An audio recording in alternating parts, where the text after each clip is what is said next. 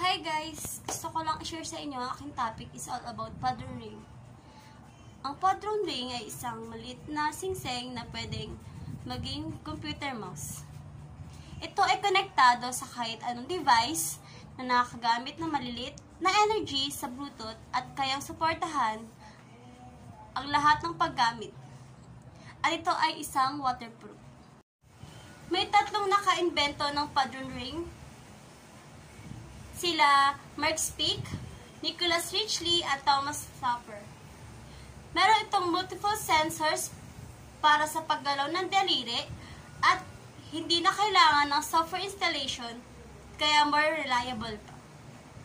Siya. Thank you!